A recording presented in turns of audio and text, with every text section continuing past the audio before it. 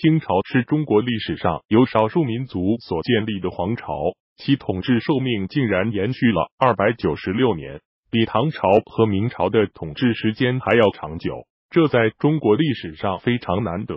那么究竟是什么原因让清朝的统治可以如此稳固呢？没有像元朝的统治者一样很快崩溃呢？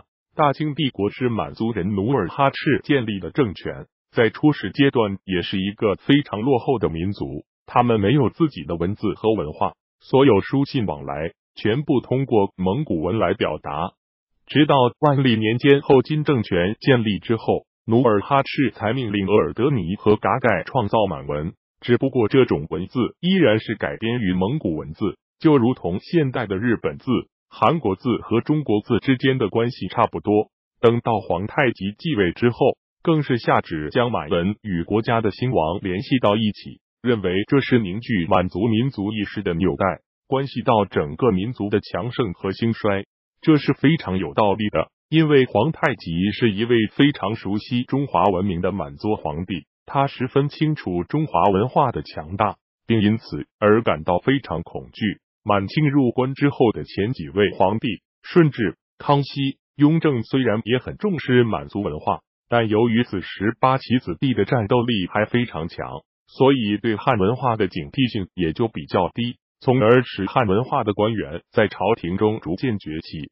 等到乾隆皇帝登基之后，满族人的统治弱点开始渐渐显露出来。不过，乾隆到底还是一位非常有智慧的人，他清楚的看到了满族人的统治危机，于是，在加强满汉通婚和交流的同时。也开始积极的增强满族文化的教育，规定十岁以上、二十岁以下的旗人必须接受教育，所学习的内容便是国语和文字，而所谓的国语便是满语和满文，甚至为满族子弟进入仕途而开设了绿色通道。只要你国语学得好，即使才干略有不足，也要提拔任用。乾隆皇帝对不会或者不愿意使用满文的官员深恶痛绝，在乾隆五十八年。盛京将军林宁在一份奏折中，因为只使用了汉字而被乾隆皇帝一顿痛斥，可见其对满族文化的重视程度。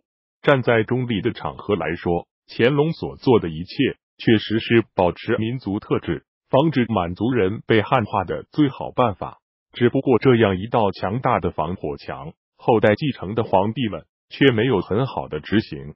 在经过嘉庆、道光、咸丰、同治。光绪几朝之后，大多数民间的满族人连满语都不会说了，更不要说满文这种难度比较大的文字了。就连继位的末代皇帝溥仪，也仅仅只会说几句简单的满语，文字是根本就不会写。不知道这要是被满清的列祖列宗知道真相后，会不会对其施与老拳胖揍一顿？只不过这也间接的证明了中华文化的博大精深，它就是这么的有魅力。就连敌人也会被其征服。看到这里，你们明白清朝为什么没有快速崩溃的原因了吧？